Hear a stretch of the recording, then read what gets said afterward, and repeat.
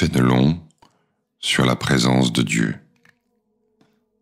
Il n'est pas étonnant que la présence de Dieu ne soit pas fréquente et familière à qui est encore au nombre des commençants dans la piété. Cette présence est d'ordinaire le fruit de l'habitude de l'oraison et d'une longue fidélité.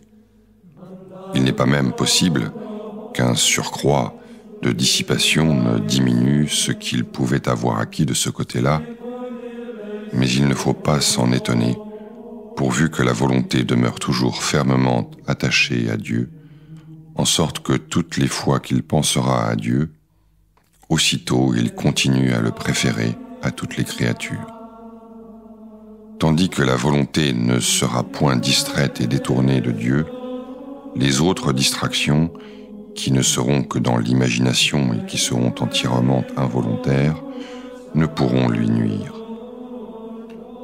Il ne reste, ce me semble, qu'une seule chose à examiner, c'est de savoir s'il faudrait recourir à quelques pratiques sensibles et extérieures pour renouveler et pour faciliter la présence de Dieu. Cela doit dépendre du degré de grâce et de l'attrait qu'il peut avoir et que je ne sais point.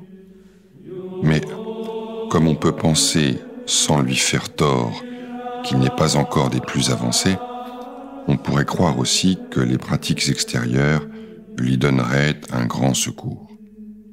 Je ne parle point de celle de faire régulièrement ses lectures, ses prières mentales, ses communions et ses conversations avec les gens de bien qui peuvent l'édifier et l'encourager.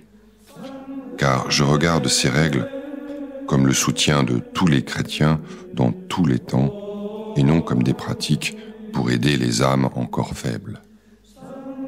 Ce que j'appelle pratique, c'est par exemple de prendre la résolution de penser à Dieu toutes les fois qu'on verra certaines choses ou certaines gens.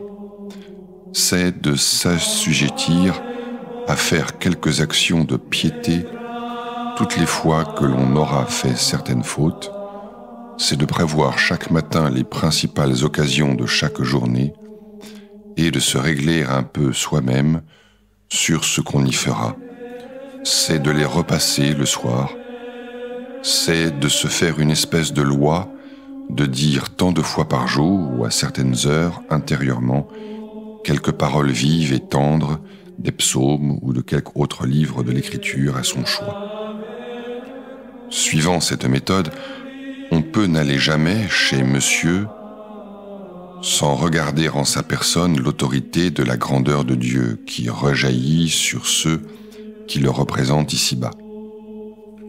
Combien ces images sont-elles faibles pour nous peindre la majesté du Tout-Puissant Quand on va au péril, on peut élever son cœur vers le Dieu des armées devant qui les empires ne sont qu'un peu de boue que des troupes de fourmis qui se disputent les uns aux autres. C'est lui qui donne la force, le courage, le conseil, la victoire. C'est lui qui conduit tous les coups, qui donne la mort et la vie. Le hasard n'est qu'un nom, puisque Dieu voit et arrange tout. Il compte jusqu'aux cheveux de nos têtes. Rien ne lui échappe. Rien ne peut sauver celui dont il a marqué la dernière heure rien ne peut frapper celui que sa main protège. Il sert lui-même de bouclier, de rempart et de forteresse, car c'est ainsi qu'il parle dans l'Écriture. Voit-on des hommes profanes et contagieux? On peut les regarder comme des ennemis déguisés qui veulent tuer l'âme, au lieu que les ennemis qui tirent des coups de canon n'attaquent que le corps. Ce péril est d'autant plus à craindre qu'il est moins sensible, au lieu qu'il faut être intrépide dans l'autre. On est obligé d'être craintif dans celui-ci. La victoire consiste à fuir autant qu'on le peut et à invoquer Dieu avec confiance quand la fuite n'est pas praticable. Voit-on quelque chose de scandaleux? Entend-on quelques discours libertins on peut concevoir une juste horreur de cette impiété et dire intérieurement non, je ne rougirai jamais, mon Dieu, de votre évangile. Au reste, Rien n'est meilleur en cet état que de prévoir le matin devant Dieu les engagements de la journée. Un tel me fera une raillerie, cet autre me fera telle proposition, je me trouverai occupé à telle chose. Là-dessus, on peut dire en soi-même, je répondrai ainsi, ou en riant, ou d'un air sérieux, je m'échapperai à la compagnie honnêtement par un tel moyen, j'éviterai un tel, je m'entretiendrai avec cet autre, à cet autre je lui témoignerai un peu de froideur, et je romprai avec courage s'il le faut, plutôt que de me laisser entraîner, je reviendrai à telle heure, je ferai cette lecture, etc. Pour les paroles des psaumes ou des autres endroits de l'écriture, il faut les choisir suivant son goût, mais il faut en prendre de courtes. Par exemple, Ô Dieu, mon Dieu, je veille devant vous dès que la lumière se lève, mon âme a soif de vous. Ou bien, quand même je passerai au travers des ombres de la mort, je ne craindrai rien, Seigneur, puisque vous êtes avec moi. Ou bien encore, Ô Dieu, ma force et mon salut, vous couvrez ma tête de votre ombre au jour de la guerre. Ou enfin, mon zèle me fait sécher quand je vois l'endurcissement des pécheurs. Mais comme ces pratiques ne sont données que pour aider, il ne faut les employer qu'autant qu'on éprouve qu'elles aident. Et quand on se sent gêné, on peut les laisser librement, pourvu que Dieu donne d'ailleurs par lui-même selon les besoins. Mais enfin, si le cœur est véritablement à Dieu et sans réserve, il arrivera l'une des deux choses suivantes, ou que la plupart des choses de la journée rappelleront peu à peu la présence de Dieu qui fait tout au milieu même de ceux qui l'offensent, ou du moins que la dissipation involontaire dans laquelle on aura été, on l'aura même fait quelque faute, par fragilité, humiliera profondément. Cette humilité, qui détachera de soi-même et qui fera recourir à Dieu, sera même plus utile qu'une présence de Dieu plus sensible et plus continuelle.